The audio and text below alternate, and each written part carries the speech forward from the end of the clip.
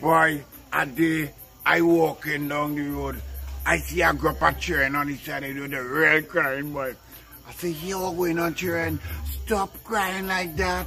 When you're crying plenty, you'll get ugly. You see them mashing bricks on the tears. the slam bricks on the crying, I'm telling you. When I walk up and I reach halfway, here one of them, Mister, I say, oi, you look like a real crying.